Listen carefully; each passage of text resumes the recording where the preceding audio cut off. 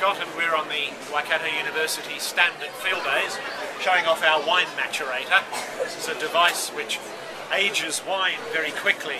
Um, see our prototype here. Uh, we're hoping vineyards will adopt this as a mechanism of getting wine drinkable faster. It uh, adds nothing to the wine, it takes nothing away from the wine. It, uh, the wine never leaves glass, but it comes out large or small quantities. It was about two years older than it went in. And uh, it's one of the many things Waikato University does in the way of new technology, new ideas, and advancing New Zealand.